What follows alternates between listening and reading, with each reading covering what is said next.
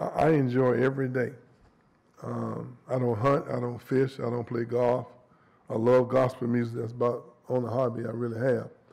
Um, when you charge with, when people, um, when people trust you with their most precious gift, their child, um, you have to take that seriously. You're a surrogate, father, mother, sister, brother, counselor, coach, and all of the above. When you're thinking you're taking teenagers and ushering them into young adulthood, that's much more important uh, responsibility than just about anything that we, we do.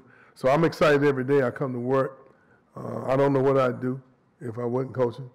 Uh, I can't, I can't, I probably wouldn't, I probably have difficulty staying married if, if I wasn't busy.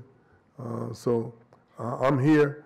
Uh, long as I don't come out of the locker room and go sit on the other team's bench by mistake because I don't know where I am, uh, I'm to hang right on in here.